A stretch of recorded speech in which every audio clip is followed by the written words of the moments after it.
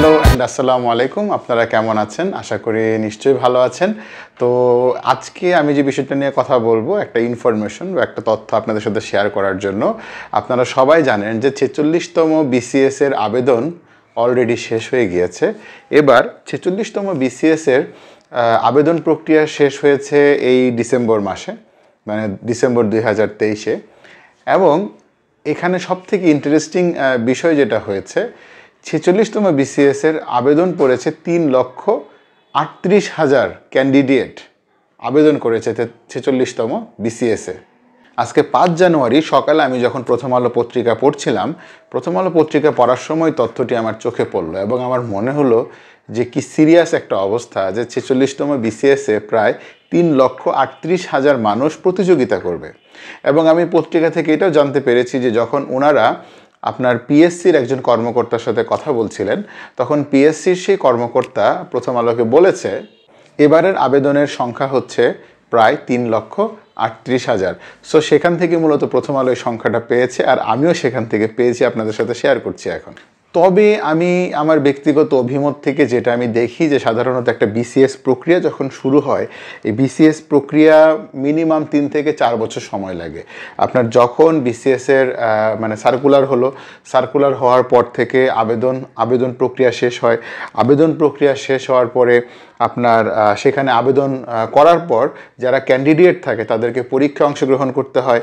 সেখানে preliminary test আছে, তারপরে হচ্ছে আপনার ভাইবা আছে তার ভাইবার আগে আবার রিটেন টেস্টও আছে। তাহলে সব মিলিয়ে কিন্তু আপনার মিনিমাম তিন থেকে চার বছর দেখা যাচ্ছে প্রত্যেকবার বিসিএসেই লেগে যাচ্ছে সময়টা। এবং আমার মনে হয় যে আসলে এই দীর্ঘ দীর্ঘসূত্রিতার যে একটা বলয় সেখান থেকে আমাদের আসলে বের হওয়া উচিত। এখন আমরা অনেক বছর বাংলাদেশের স্বাধীনতার পঞ্চাশ বছরের অধিক আমরা পার করে ফেলেছি। আমরা অলরেডি বিভিন্ন জায়গায় আমরা স্মার্ট হচ্ছি। আমার মনে হয় এই সব জায়গাগুলোতে আমাদের আরও একটু স্মার্ট হওয়া উচিত এবং পরীক্ষা ক্ষেত্রে বিসিএসের পরীক্ষা ক্ষেত্রে আমি নিজেও যখন দিয়েছি এবং আরও আমি যখন আমার প্রতিবেশী এবং আমার আত্মীয় স্বজন যখন দেয়, আমি তখন যেটা শুনি বা দেখি যে পরীক্ষার যে সাবজেক্টগুলো, যে টপিকগুলো আসলে আসে ম্যাক্সিমাম ক্ষেত্রে আসে সাধারণ জ্ঞান, বাংলা, ইংরেজি, এগুলো খুবই ভালো। কিন্তু আসলে এমন এমন জিনিসগুলো নিয়ে ওখানে মানে প্রশ্ন হয়, যে প্রশ্নগুলো আসলে অনেকটাই মানে স্কুলের বাচ্চাদের সিলেবাসের মতো। আসলে এত এত পড়ালেখা করে ইউনিভার্সিটি থেকে পড়ালেখা করার পর যখন আসলে উচ্চশিক্ষায় শিক্ষিত হয় একজন মানুষ, তখন কিন্তু আবারও তাকে সেই ক্লাস ফাইভের অঙ্ক করতে হয়। আবার সেই ক্লাস এইটের আপনার মানে সামাজিক বিজ্ঞান বই থেকে অনেক পড়ালেখা করতে হয়।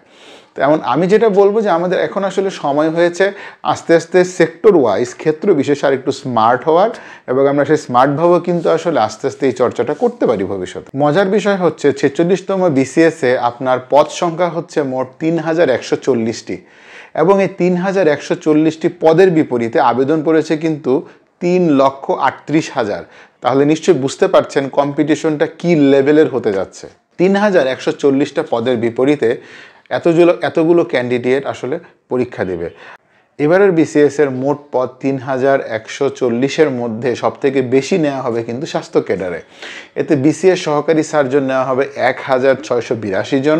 সহকারী ডেন্টাল সার্জন নেওয়া হবে প্রায় ষোলো জনের মতো, এটা খুবই কম।